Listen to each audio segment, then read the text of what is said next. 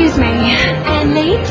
Yes, hello. I'm Sarah Taylor. I'm your new local buyer. Pleased to meet you. It's very kind of you to meet me. oh, sorry. This is my husband, Mark. Good morning. How are you? Very well, thank you. How was your flight? Oh, actually, I'm a bit tired. It was a very long flight. Let's get your bags.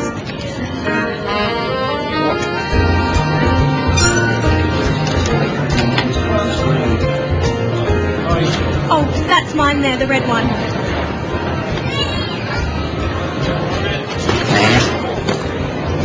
It's empty. Sorry. Don't worry, Mark's strong, aren't you, dear? No worries. Come on, let's go to the hotel.